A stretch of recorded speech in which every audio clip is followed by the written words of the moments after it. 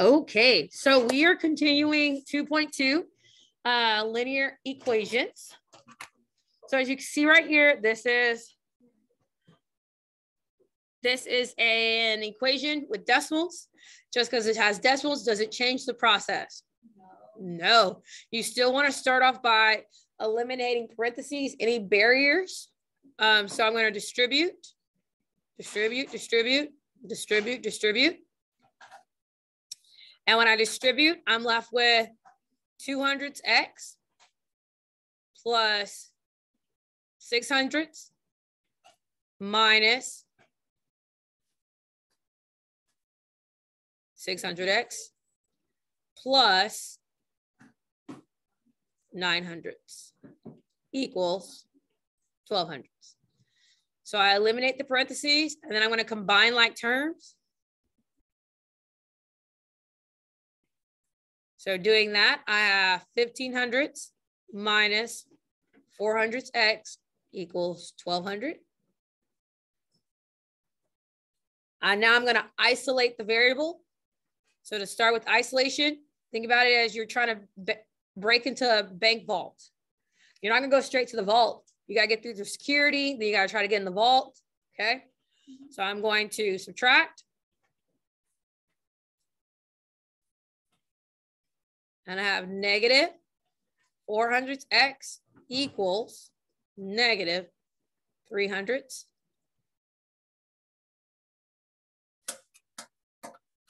And then I'm going to divide.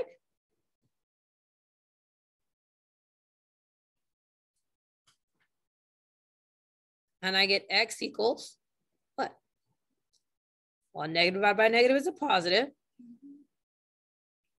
And this is just going to, which is just three fourths. I think I did that right. All right. Having decimals, did it change anything? No, same process, okay? All right, so here's a word problem example, a real world example. The amount of solid waste in pounds created daily by the average American during year X can be approximated by G of X equals 4 hundredths times X minus 2005 plus four and a half. Estimate when this amount could reach five pounds.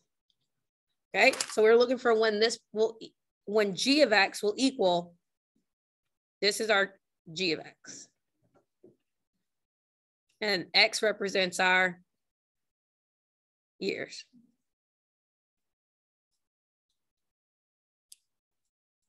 So we substitute in. So we have 5 equals 400s times x minus 2005 plus four and a half. I'm going to pause and let you quickly solve for x. Okay, so after you went through this and solve, I'm gonna do it strictly starting from the calculator. So the first thing I should do is subtract 4.5. So we have five minus four and a half. After I subtract, then I'm gonna have to divide. Divided by.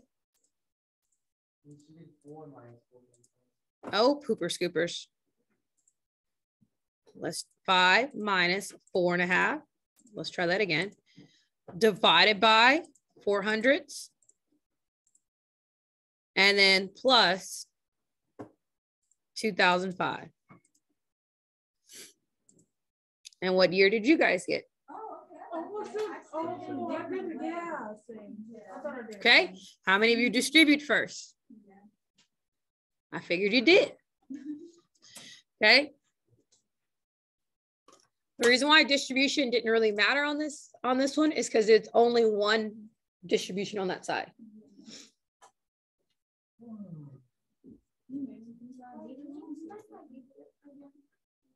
Yes, I subtracted four and a half. Inverse operation of adding four and a half is to subtract it.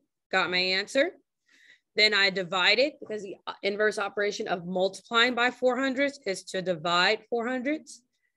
And then I added 2005 because the inverse operation of subtracting 2005 is to add. So we end up with 2017. Okay, So estimate this amount could reach. So roughly halfway through 2017, right? Mm-hmm. All right. Questions, comments, concerns? Cool. All right. So that is the end of that part of 2.2.